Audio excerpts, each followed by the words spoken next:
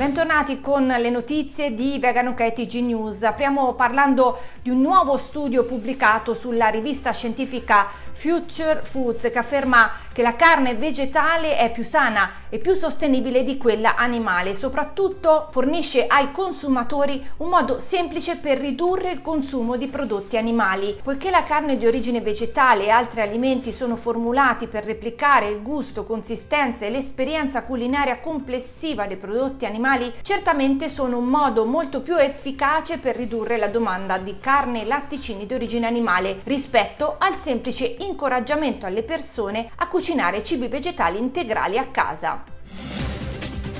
E per la prima volta in assoluto in Germania il mese scorso il latte d'avena è risultato più economico del latte vaccino. A luglio la testata giornalistica tedesca Focus ha riferito che i prezzi del latte animale stavano aumentando vertiginosamente, raggiungendo i massimi storici nei supermercati. Anche rivenditori noti per i loro prezzi bassi come Aldi hanno aumentato i prezzi del latte vaccino. Focus ha aggiunto che la maggior parte dei prezzi del latte ha superato l'euro e rispetto a dicembre 2021 i prezzi del latte intero sono aumentati di 29 centesimi al litro. Ciò significa che per la prima volta in assoluto i prezzi del latte vegetale, in particolare avena e mandorle, sono più economici del latte vaccino.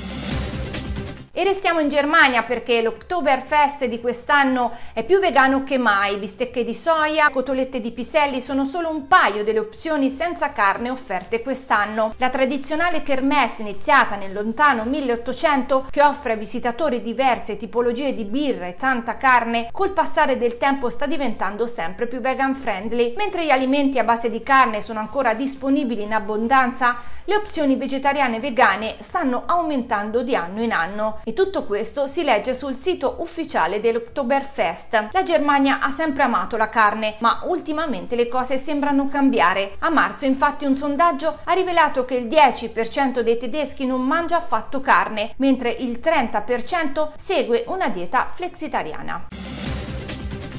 L'icona The Queen Brian May ha esortato i suoi 3 milioni di follower ad abbandonare la carne per salvare pianeta, salute ed animali. Il leggendario chitarrista The Queen Brian May ha invitato i suoi fan a smettere di mangiare carne, dicendo probabilmente la cosa più efficace che possiamo fare come individui in questo momento è eliminare la carne dalla nostra dieta. Questa è anche la cosa migliore che possiamo fare per la nostra salute e per ridurre la crudeltà verso gli animali. Il chitarrista, che usa spesso la sua piattaforma per parlare di diritti animali, ha recentemente condiviso un articolo su come la Terra sarà presto irriconoscibile a causa del cambiamento climatico.